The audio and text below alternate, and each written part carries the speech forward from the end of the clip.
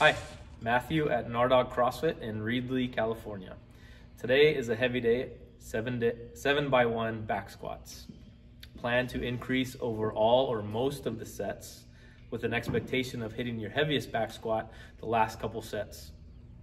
Take about two to three minutes rest between and hit every, every squat with maximum effort.